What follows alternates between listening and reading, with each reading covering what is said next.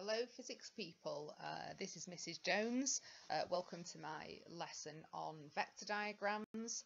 Uh, this appears in topic 9 if you're doing triple science and in topic 8 if you are doing combined science. Um, so what I would ask you to do to start with is to have a think about what forces might be acting on this plane as it comes into land. Uh, as you can see the pilot seems to be having some trouble uh, landing this plane straight on the runway.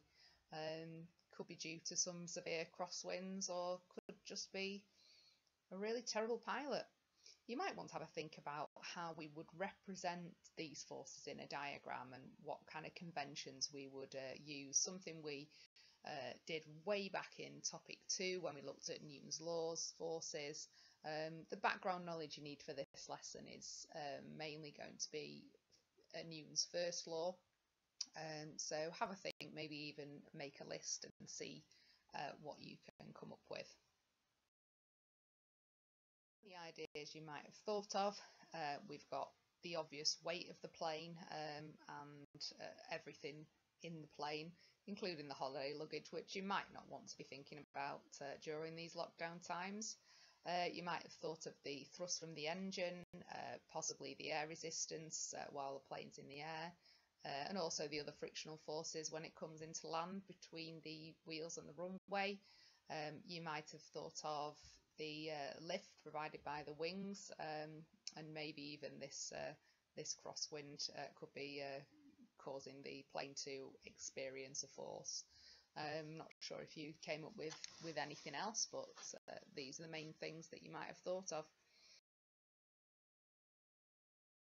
So, if I was teaching this lesson to you in school, I would normally split this into two lessons um, because the method that we use uh, to work out the answers to these vector diagram questions is to draw scale diagrams and they normally take quite a bit of time to practice uh, getting them right.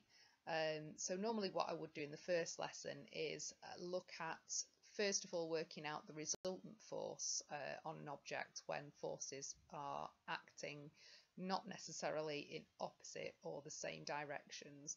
Um, and in the second lesson I would normally go on to um, resolving forces where we find the component forces uh, from one overall resultant force. Um, so going to start off with uh, looking at resultant force. Um, and first of all, just build on what we have already looked at way back in topic two uh, when we looked at Newton's laws. The background knowledge that you need uh, for this lesson really revolves around um, Newton's first law. Uh, so the first thing I'm going to do is, is recap that and then uh, work on building uh, on that knowledge uh, to help us solve these slightly more difficult, uh, complicated questions. So this first question just recaps the work we did uh, on Newton's first law back in topic two. Um, it says that the car is slowing down uh, so that is classed as an acceleration. So for Newton's first law, uh, an object uh, remains at a constant speed or a constant velocity, um, provided that no resultant force acts on it. If a resultant force does act on it, then it will accelerate. So in this case, uh, the resultant force um, is going to be acting in the opposite direction to the way that the car is moving because it is uh, slowing down, so it's going to cause a deceleration. Um, so here we have a resultant force that has a, a value that is not zero um, and it's going to be acting um, against the direction of motion to slow the car down. Um, so that's just a bit of a recap. Um, same with question two, uh, looking at uh, the force diagram or the free body diagram to represent the, this aeroplane uh, that's in flight.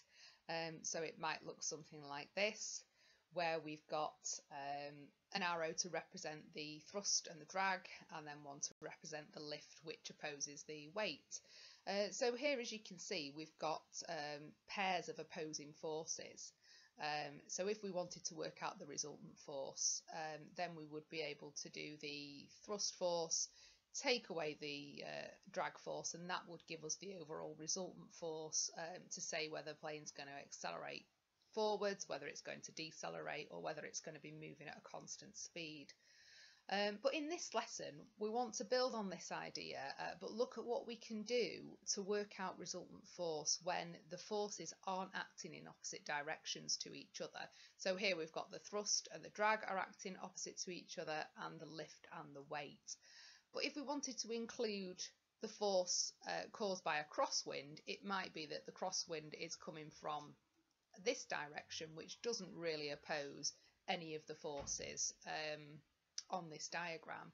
Uh, so we can't just simply take it away because it's not acting on the same plane. So in this lesson, uh, we're going to have a look at how we would deal with uh, forces that aren't acting in opposite directions to each other.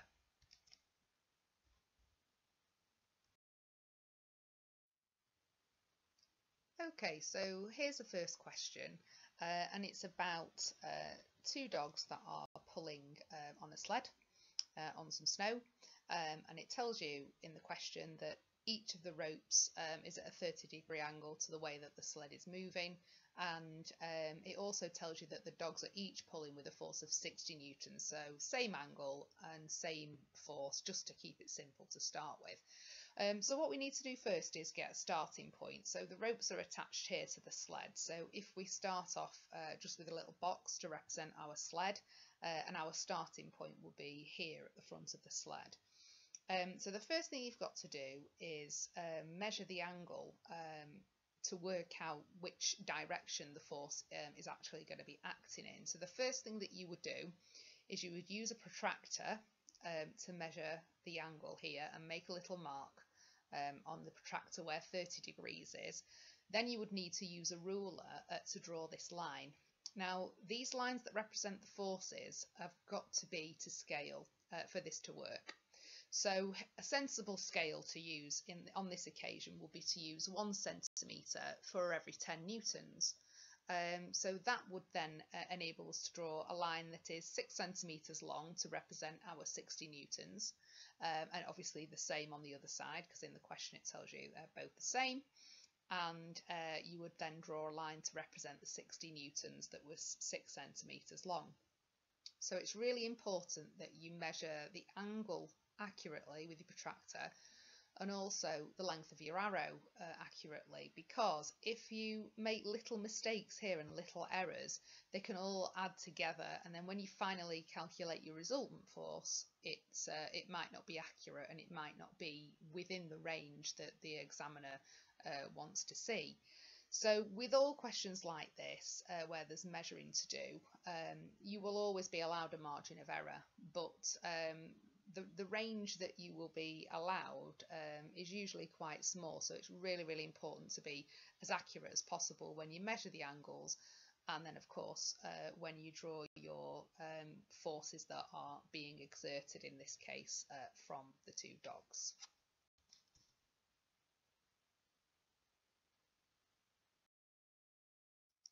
The next step um, in this question is to work out the resultant force. Uh, so to do that, what we need to do here is to um, draw parallel lines um, that are parallel, not to each other, but parallel to the um, force arrows that we've already uh, put in place here. Uh, so what we want to do is have a line that's parallel to uh, this force line here that goes across the end of uh, the other force line. So we want a line that goes along here and then we want uh, another parallel line parallel to this arrow at the end of our other arrow.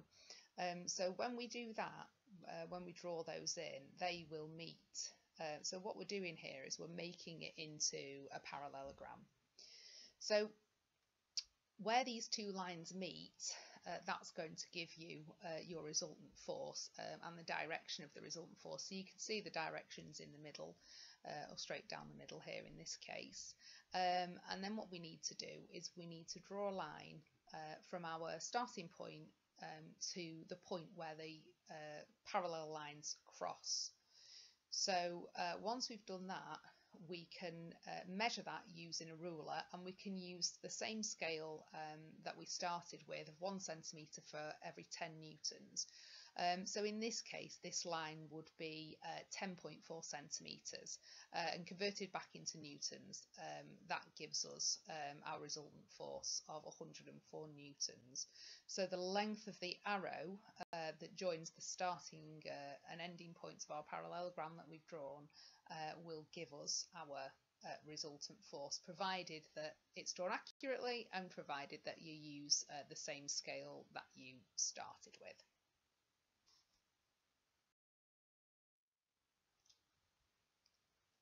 So in the next part of the lesson, uh, we would have uh, a couple of examples to do, uh, just to give you a bit of practice on um, doing these force diagrams. Um, so for question one, it wants you to set it up in this format here, and it gives you uh, different values for the two forces, A and B, and then different values for uh, the angles. Uh, so I would go about this by drawing a line, first of all, um, for force A, uh, which needs to be representing 50 newtons. So what we need to do here, probably use the same scale that we used in the previous question, a sensible scale of one centimetre for every 10 newtons. Um, so what we would then do is we would uh, draw a line to represent force A. So this line will be a straight line drawn with a ruler uh, that was 5 centimetres long, uh, not drawn freehand as I have uh, got to do here, not using a ruler. Um, so that would represent force A. The second step uh, would be to uh, put our angle in. So we would need to use a protractor. Well, you might not need to use it for 90 degrees, but you would for these others. Uh, protractor to measure 90 degrees, which is of course a right angle. Um, and then at 90 degrees, we would draw force B, which is 25 newtons. So that would need to be 2.5 centimetres long. And um, that is our force B. So that's the first part. Uh, then what we need to do is we need to draw our parallelogram. So we would use a parallel line um, that's parallel to force B at the end of arrow A. So there's my lovely straight parallel line. Um, and then again, a, for, uh, a line that's parallel to force A at the end of arrow B. So once we've done that, uh, we've got our parallel lines are crossing and uh, we can draw in our resultant force. So uh, from the starting point to the point which the arrows cross, nice straight line there, um, and that would be our resultant force there. So then we would take our ruler and we would measure that very straight line um, and use the same scale that we originally started with. Um, so if you were to do this uh, nice and accurately, uh, you should get um, a line that represents 56 newtons. Um, so that would be a line that would be 5 centimeters long, uh, 5.6 centimeters long uh, to represent uh, 56 newtons. Uh, so if you did it accurately, that's what you should get. If um, you make a little mistake, it's not usually too much of a problem uh, because the exam board will allow a range for this answer. So they might say, well, we're going to include um, 55 newtons and 57 newtons. So they'll give you a, a range for that uh, possible error that could have occurred. Uh, but the range usually isn't a massive range, so it's important to um, to keep accurate uh, when you're drawing these diagrams, as previously mentioned. To do uh, options B and C, we would uh, do go through exactly the same uh, process, but uh, with an angle of 60 degrees. So you would need to use protractor to measure the angle here at 60 degrees. Uh, line A would be 10 centimetres and line B would be 4 centimetres. So you would get a slightly different result. Um, and again, you'd be allowed a range, but you should be somewhere in the region of 126 newtons and uh, 68 newtons for C. Uh, so if you've done those, I know you've got the answers as well that you could check um, with what I've already sent through, uh, but those are the answers that you should get. For question two, uh, we're not working in newtons, we're working in kilonewtons. Um, so you would have to adopt a different scale for these two questions because we're dealing with forces that are much larger, but you can just use exactly the same principle um, as before. Uh, just choose a suitable scale that's going to fit on your onto your page.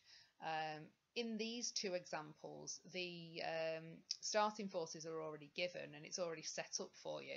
So all you would actually have to do um, on these questions would be to uh, make the parallelogram and um, then draw a line, or you don't even need to draw a line, you can just measure it with, with a ruler um, your resultant force here and then convert it back to kilonewtons from uh, centimetres from whatever scale you have used. Um, so it's as simple as that really. The question that I've seen uh, in the previous exam was a little bit like this one, uh, where you had to draw the parallelogram and um, show the resultant force. You didn't actually have to measure any angles or set up any force lines, but who knows what they're going to throw into the exams in future. With this one, I haven't really got enough room on screen to um, to show you, but you would do the same thing. You would draw um, a parallel line at the end of um, this 10 kilonewton force that's parallel with the 40 kilonewton force, so that would be a straight line. Um, and then you would need to do a parallel line at the end of the 40 kilonewton um, that's parallel to this 10 kilonewton, which obviously would go off screen. Uh, but then where those two lines meet, that would give you your resultant force. Obviously, that would be a straight line, and you would be doing that with a ruler. Um, so if you were to um, attempt these two. You can, if you've not already done so, you can pause the video, have a go, um, and then come back for the answers, or you can look at what was sent through. Um, but for part A, you would get 21 kilonewtons. So the range for that would be, um, let's say they would allow anything from 19 up to 22 or 23. So they'd give you a bit of a range. It doesn't have to be exactly bang on, but it needs to be pretty close. And then for B, um, 48 kilonewtons, so probably two new kilonewtons each way. Um, so anything between 46 and 50 uh, kilonewtons for your answer uh, would would be acceptable.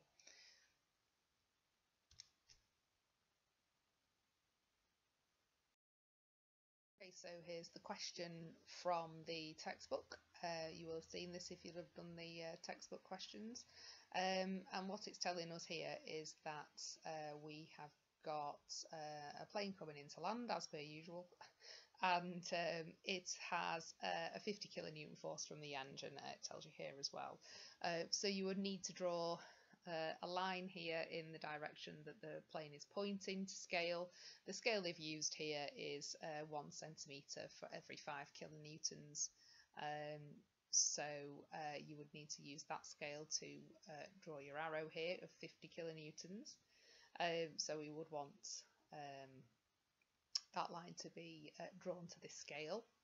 Uh, so once you've done that, you would use a protractor to measure the angle of the wind. So it tells you that the force from the wind here is 15 kilonewtons, an angle of 150. So if you would have your protractor set up so zero degrees was lying on the um, force from the engine line, then you would measure 150 degrees, make a little mark here, and then draw your um, 3 centimetre line here to represent your 15 kilonewton force.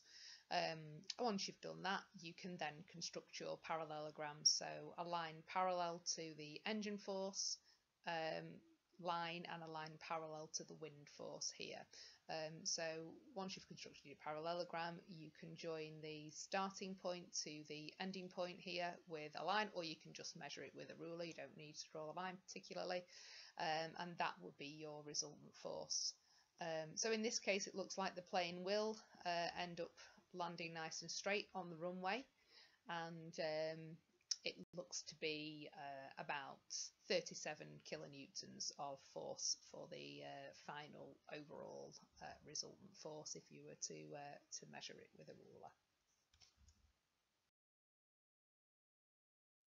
Okay, so here's a slightly uh, more uh, difficult question, slightly more complicated one, because we've got two people. This was the best picture I could get to match the context here that the question's given in. So we've got two people are lifting a weight um, with two ropes.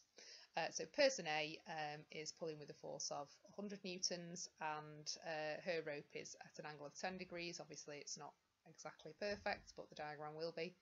Uh, and person B um, is uh, pulling with a force of 80 newtons um, at an angle of 25 to the vertical. So what we need to do is we need to get our starting point um, with a nice dotted vertical line, but like a normal line there, uh, so we can measure our angles. Uh, and the first step is always going to be to measure the angles so you get the correct direction for the forces. So first job is to measure angles. So we've got person A on this side here, um, is uh, at 10 degrees and then person B is at um, 25 degrees. Uh, so this here is person A um, and this here is person B. Okie dokie. Uh, so once that's been done, we can then uh, use the scale. So again, one centimetre for 10 newtons would be uh, okay for this. Uh, and we would draw our lines. So we've got one 10 centimetre line here and an 8 centimetre line here to represent our forces of 100 and um, our force of 80 newtons. So that's now set up. Uh, we go through exactly the same steps um, and we draw our parallelogram. So uh, what we need here is a parallel line um, or a line that's parallel at the end of each force arrow um, and the line will be parallel to the to the other force. Um, so what we've got here is uh, our parallel line at the end of our 80 newton line that's parallel to the 100 so these two lines are parallel um, and then the second line here um, is parallel to the 80 newton uh, arrow uh, and then of course they meet at the top. So when they meet at the top we can join our starting point to our end point and we can measure the length of this line. So if we measure the length of this line uh, we end up with 17.2 centimetres um, and that will then give us a final overall resultant force on the weight of 172 newtons to lift it.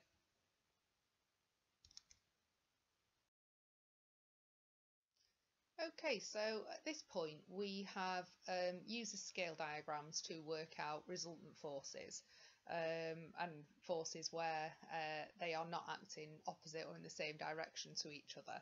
Uh, and what would we end up with? Um, the second lesson I would normally do on this would be kind of working backwards um, on resolving forces and finding the components um, of a resultant force. Uh, so I would normally do this in the second lesson just to allow you to um, get to grips with it and uh, have lots of practice. But I actually think that this uh, resolving forces is a little bit easier than uh, finding the resultant force. So um, hopefully uh, you will uh, not have too much trouble with this one.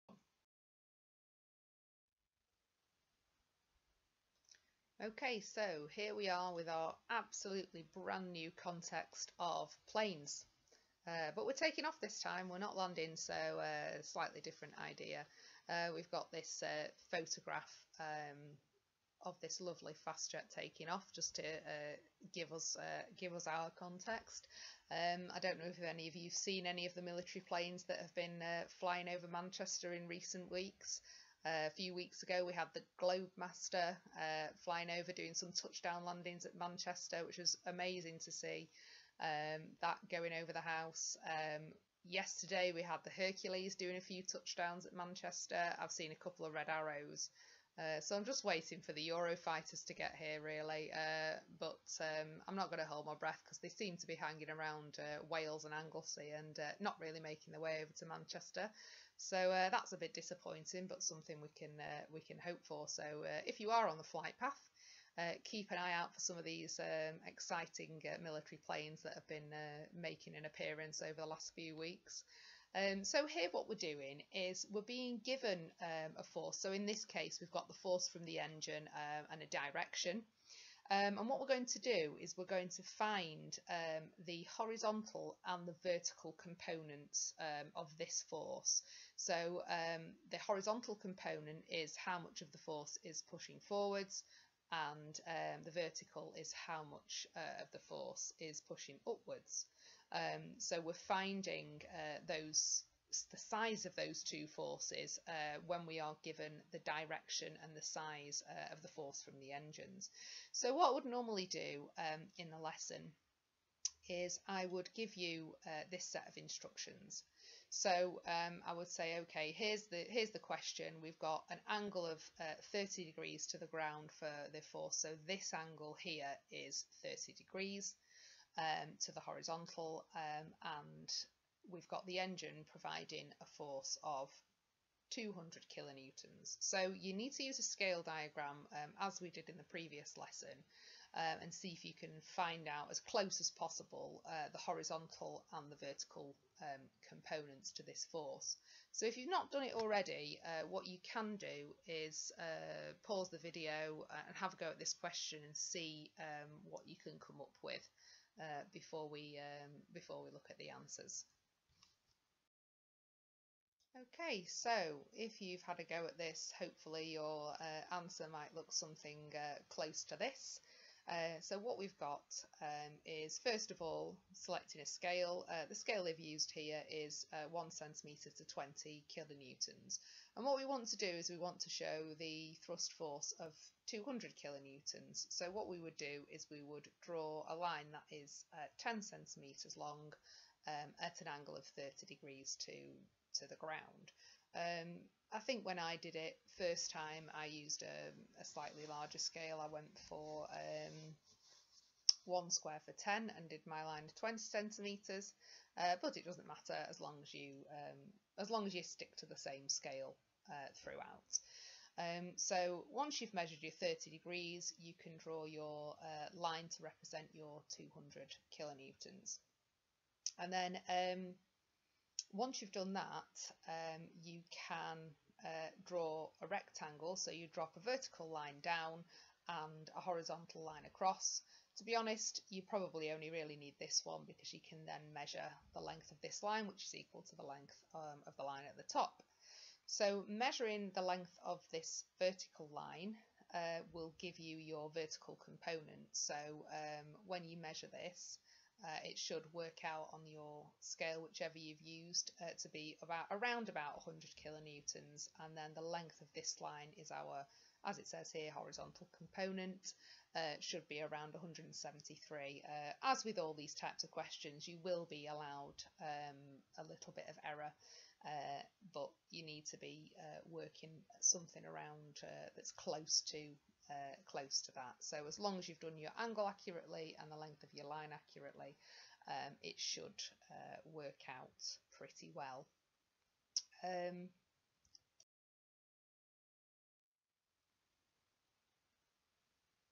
the other question, uh, the challenge question, was doing the same thing, uh, but instead of an angle of 30 degrees, um, we're looking at an angle of 50 degrees. So you do exactly the same here, but instead of 30 degrees here, you would have a, a slightly steeper angle of 50 degrees. Um, and if you had a go at that, then uh, the answer should come around about 153 for the vertical component and 129 uh, for the horizontal component. So uh, because the angle is uh, steeper, the vertical component is larger um, in this second example. So uh, you could also have a go at that if you need a bit of practice. Um, set your angle at 50 degrees um, and see how close you can actually get uh, to these answers for vertical and horizontal components. In contrast to that here, we've got uh, a question that's just asking you to describe the horizontal and vertical components and compare them um, if the plane was climbing at a much more shallow angle. Um, so it's the opposite uh, of the previous really. If um, if it was at a more shallow angle than the original question, uh, the horizontal component would be larger than the 173 from the first question, um, and the vertical component would be smaller. Uh, so just thinking about how uh, the angle uh, will affect um, how big the horizontal and vertical components are. So uh, that one's pretty straightforward. Okay, so here are um, a couple more examples, which was uh, on the PowerPoint that I sent out uh, for you to have a go at. So if you've not already had a go at them, you could pause the video and uh, see what you can come up with um, before you uh, watch the rest of this. And um, the contexts are really similar. Um, we've got a skier and a child sliding down a slide. So basically it's the same thing. Uh, we've got the weight um, is the force that we're given to work with um, and we want to know how much of that um, is uh, pushing uh, the person down the slope um, and how much of that force is uh, pressing against the slope. So in this example, um, it's telling us that the slope is at 20 degrees um, from the horizontal. So if we were to uh, draw a horizontal line across, then the angle of the slope that the skier is on um, would be 20 degrees. Uh, so what we would need to do is set it up in a diagram as we've done previously and um, we would need to use a scale to represent the uh, 800 newtons. So uh, the best way to do this would be again to draw uh, the scale diagram and choose a scale that makes sense. Uh, so one centimetre for 100 newtons, therefore this line would be um, 8 centimetres. The weight line would be vertical because it would press uh, towards the centre of gravity um, and that would represent the, the person's weight. Um, and then once you've done that, as you did in the previous question, um, you draw two lines that are right angles to each other.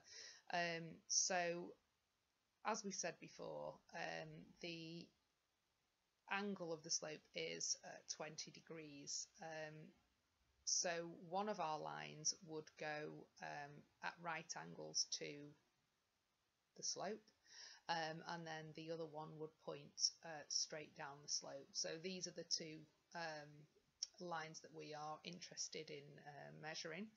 Um, it says here that you uh, would also draw a rectangle. I don't feel that you would need to do that because um, you could just measure this line and this line you wouldn't necessarily need uh, need the rest of it. Um, but it's up to you, you can uh, make it into a rectangle.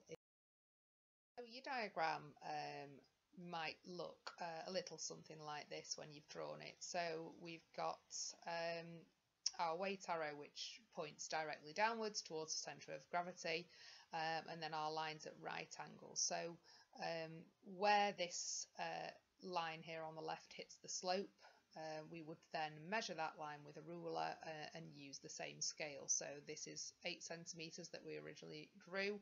Uh, here we would measure this to be about 7.5 centimetres.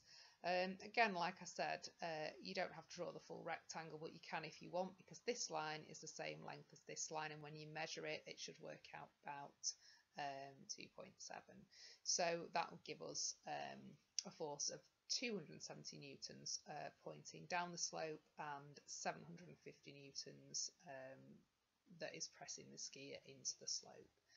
Um, so again, there would be a range uh, given in a mark scheme for any question like this, but it won't be a very large range. It will be um, a, small range to allow for a small margin of error, but uh, uh, nothing too big. So just make sure that you are measuring angles and um, measuring and drawing force lines um, accurately to, uh, to your scale.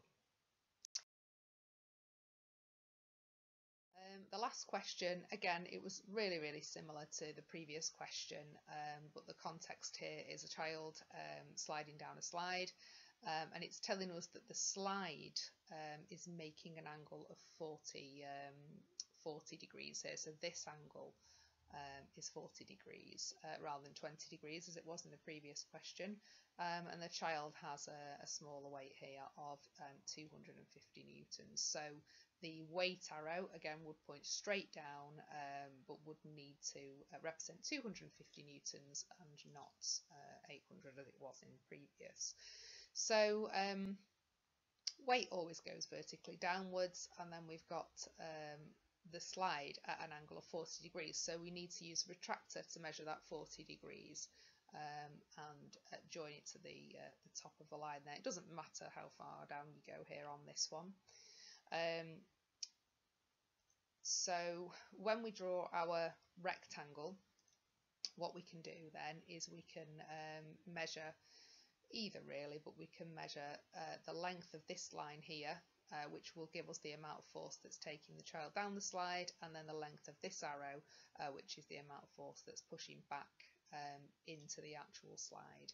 Um, so if you were to measure this um, using whatever scale you've used, uh, you can just use the same scale. Um, you could use 2.5 centimetres here, this would be 1.6 um, and that would be uh, 1.92. Uh, so again, you would get uh, definitely for that um, a range of answers that uh, would be allowable. Um, so once you've measured these lines using the same scale, um, you've got your uh, two component forces. Um, here it's saying find out how much of the child's weight is pulling them down the slide. So the answer to this particular question is 160 newtons. Um, so start with um, start with measuring the angles. As with any of these questions uh, and once you've got your angle accurate you can um, you can add in these force lines. So uh, that's the end of the lesson on vector diagrams. Thanks for watching. Um, I hope you find it found it helpful. Uh, like I said it would normally take me two lessons to uh, cover this material hence the the longer video. Um, but hopefully there'll be uh, more to come on the uh, Priestnall Science Hub. Uh, if you um, have a look on there, you should be able to find videos from uh, Mr. Clary and Mr. Firth. So uh, keep your keep your eyes peeled for those. Uh, maybe subscribe to the Priestnall Science Hub, and there should be more to come um, as we as we put them together. Hope everyone's all happy, well, safe in lockdown, and keep an eye out for those military planes because uh, they are great to see. Goodbye.